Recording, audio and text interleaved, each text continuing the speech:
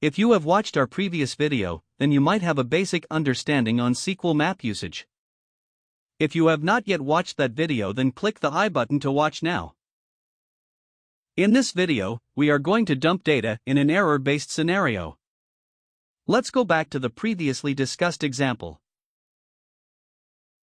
Here, we are going to exploit the vulnerability using the error-based technique of SQL map to list the database user and list of databases using hyphen hyphen current user switch. Let me jump back to the previously used command and then type hyphen hyphen current user switch. It will automatically print the database's current user. Impressive! The current database user pointed out by SQL map is root. Now let us print the list of databases present using hyphen hyphen dbs switch. Now erase the previously typed switch and then type hyphen hyphen dbs switch. On completion, the hyphen hyphen dbs switch will print available databases.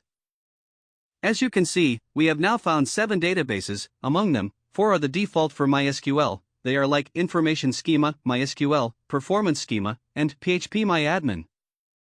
And the other three are user created, they are Challenges, Security, and Test. Once we have the list of databases available, it may be a good idea to dump one of them.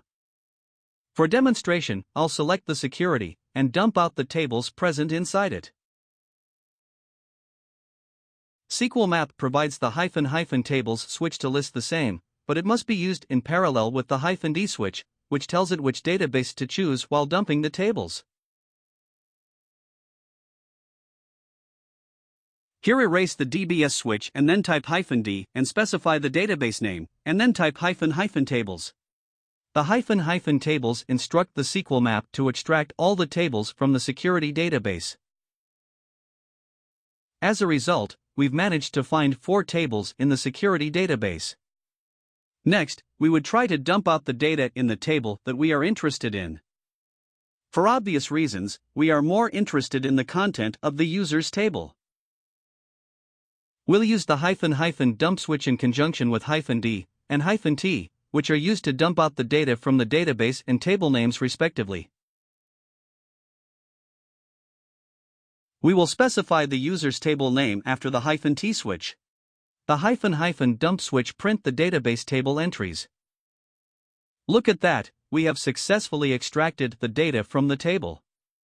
Sometimes it is possible that we are just interested in a specific column and not all of them. For example, in the previous output, we may want to extract only the username and password columns, and might not want to waste time dumping the ID column.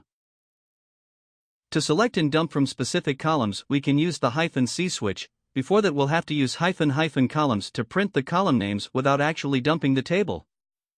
And then use hyphen C to select specific column names. First, let us print the column names only. Great! We've got the exact column structure, now let us select the username and password columns, and dump from only these two columns. We will specify the column names after the hyphen C switch.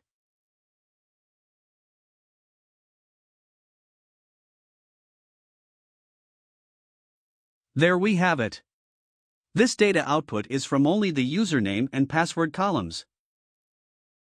As you can see from the syntax, the hyphen C option takes the comma separated values, CSV, of the column names. Interacting with the wizard. If the previous stuff looks complicated then, for basic familiarity, there is an interactive setup wizard where SQL Map asks for things in detail, one by one, starting with the injection URL. Clear the terminal and then type SQL map hyphen hyphen wizard. The hyphen hyphen wizard switch invokes the wizard. As you can see, the wizard then asks for information. It will ask us to input the target URL, as we have previously input after the hyphen u switch. No need to provide post data, as our target URL contained the get parameter. Specify the injection difficulty. Now choose the enumeration technique. Here it contains three different levels. Let's start with the basic level. It produces a basic output based on the setting chosen, such as the current user, the current database which was injectable, and whether or not the current user is a database administrator, DBA. Let's try again with the intermediate level.